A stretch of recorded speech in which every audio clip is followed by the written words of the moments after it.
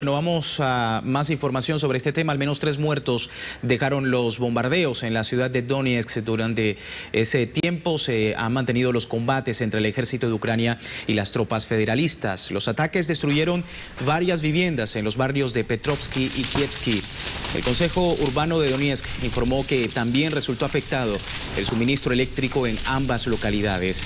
Desde Naciones Unidas y desde el comienzo de la operación militar de Kiev contra los federalistas en el este de Ucrania se ha reportado que más de 2.000 personas han muerto y otros 5.000 han resultado heridos.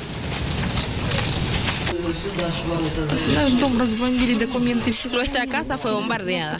Todos nuestros documentos se quemaron. Los federalistas nos trajeron aquí.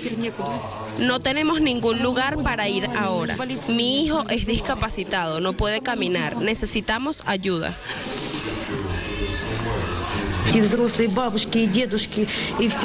Queremos vivir como antes, poder ir a nuestros trabajos.